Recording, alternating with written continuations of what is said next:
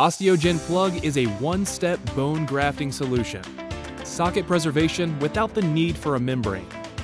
Osteogen plugs create a bone grafting material by combining type 1 bovine Achilles tendon collagen with bioactive and resorbable non-ceramic calcium apatite crystals.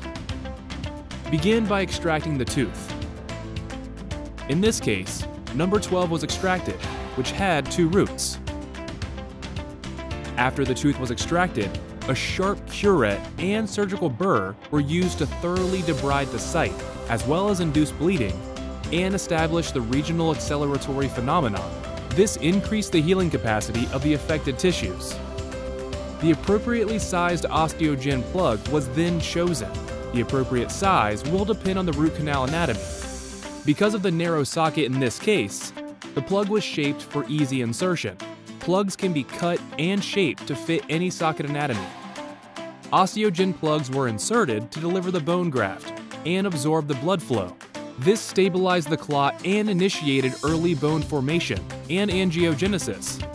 Because of the two roots, two small plugs were used, one in each socket.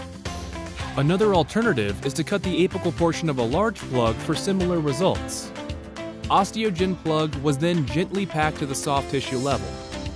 The final step was to approximate tissue and use a crisscross suture over the top. This keeps the osteogen bone grafting plug in place.